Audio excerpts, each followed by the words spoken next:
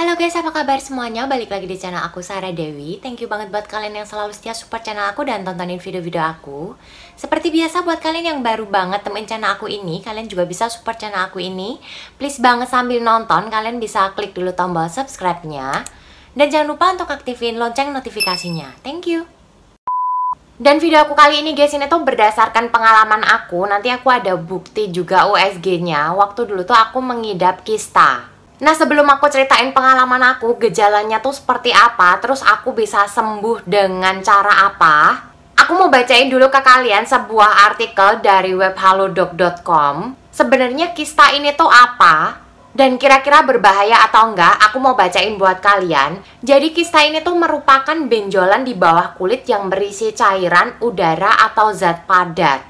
Dan kista ini guys ini tuh tidak hanya muncul di ovarium aja tapi juga bisa muncul di leher, terus di dada, terus di punggung dan juga di kulit kepala. Nah sedangkan kista yang aku alami kemarin guys ini tuh namanya kista coklat. Biasanya kista coklat ini tuh terbentuk jauh di dalam ovarium. Nah kenapa disebut kista coklat guys? Karena memang dari gejalanya itu menimbulkan warna coklat Jadi tuh seperti coklat yang meleleh gitu Yang letaknya jauh di dalam ovarium Lalu kira-kira penyebab kista coklat ini tuh terbentuk itu apa? Aku mau lanjutin baca artikelnya. Nah, kista coklat ini tuh bisa terjadi akibat adanya kondisi endometriosis. Nah, endometriosis ini tuh apa? Di sini dijelasin. Jadi, endometriosis adalah gangguan umum pada lapisan rahim yang dikenal sebagai endometrium, tumbuh di luar rahim dan ke ovarium, saluran tuba, serta area lain dari saluran reproduksi. Jadi gampangannya guys, kalau yang aku tangkap ini tuh sebuah kondisi di mana tuh ada yang tidak normal di dalam tubuh kita.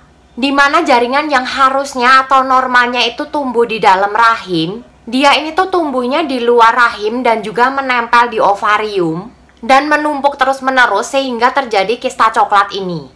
Nah, jaringan ini guys ini tuh seharusnya tuh meluruh atau keluar pada saat kita menstruasi, tetapi dia itu nggak ikut keluar Makanya cairan darah ini yang lama-kelamaan menjadi coklat itu tuh menumpuk di dalam sebuah kantong dan ini tuh yang dinamakan dengan kista coklat. Nah itu dia guys sedikit pengertian yang aku temuin mengenai kista yang aku alami yaitu kista coklat.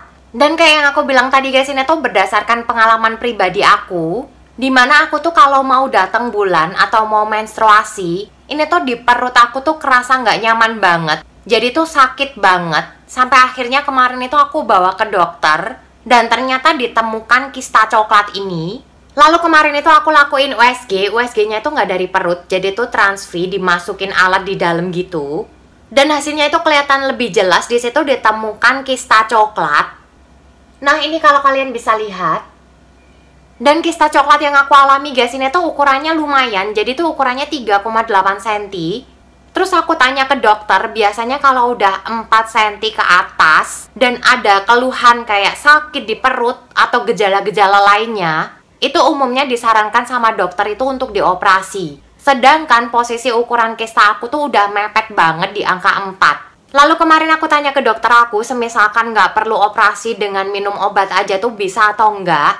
Lalu dokter aku tuh kasih resep ke aku, obat yang harus aku minum, Nah namanya tuh Dismeno 100 mg Aku diresepin ini sama dokter aku.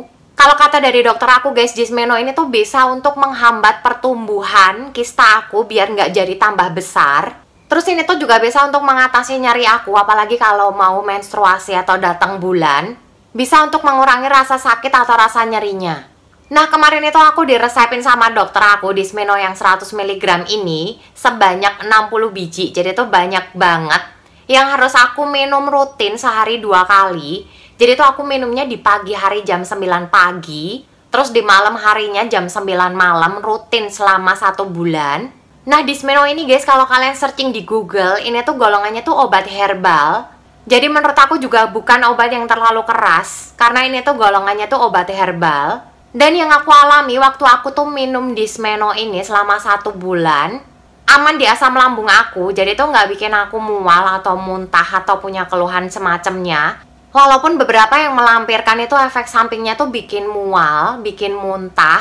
Tapi kalau aku selama satu bulan aku minum Desmeno ini nggak ada gejala apa pun yang mengganggu. Dan aku ngerasain di bulan berikutnya waktu aku tuh menstruasi atau datang bulan, nyerinya itu nggak separah sebelum aku minum Dismeno ini. Nah setelah satu bulan aku minum Dismeno ini sehari dua kali kayak yang aku ceritain tadi rutin nggak bolong-bolong dan aku balik kontrol ke dokter aku kembali di USG Transfi ternyata kista aku tuh udah mengecil ukurannya tuh udah lebih kecil.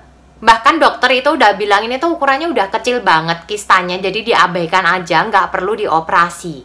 Nah tapi selanjutnya dokter aku tuh saranin biar dituntasin sekalian bisa dilanjutin minum Dismeno ini. Lalu aku lanjut diresepin 60 biji lagi Dismeno yang harus aku minum selama satu bulan. Dan setelah itu satu bulannya lagi aku kontrol ke dokter yang sama dan aku juga ditransfi. Ternyata kista aku tuh bener-bener sudah hilang. Dari ukuran 3,8 cm dicek lagi sama dokter aku udah nggak ada jadi tuh udah bersih kistanya. Nggak perlu dioperasi. Dan aku lega banget kista aku tuh bisa sembuh tanpa operasi.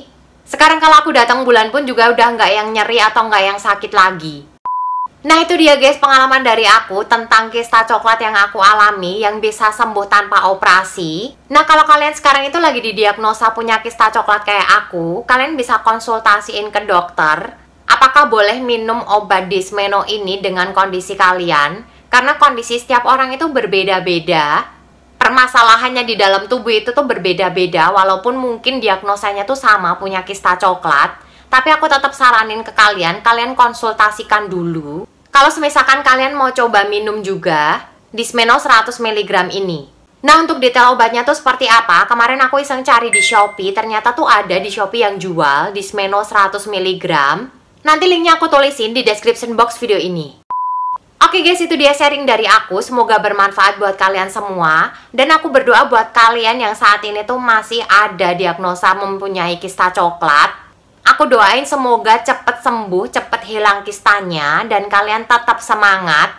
Dan jangan lupa untuk menerapkan hidup sehat juga dengan berolahraga, terus mengkonsumsi makanan yang sehat, menghindari makanan-makanan yang gak sehat kayak junk food, terus daging merah, terus kafein atau kopi-kopinan, bisa dihindari dulu biar memaksimalkan pengobatan dan tidak memperparah kondisi kista kita.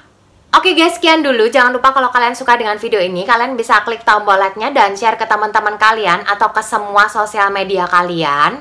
Please terus support channel aku guys dengan klik tombol subscribe-nya dan aktifin lonceng notifikasinya. Nah, kalau kalian punya pengalaman yang sama juga mengenai kista atau kista coklat, kalian bisa sharing-sharing atau kalian bisa berbagi tips dengan cara komen di video ini sebanyak-banyaknya. Siapa tahu bermanfaat buat yang lainnya.